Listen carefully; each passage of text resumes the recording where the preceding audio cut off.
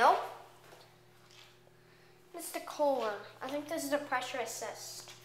No, you can come in. I need you to cover my ears because I think this is a loud one. You cover yours, I'll turn. No, you do it. You do it. I can.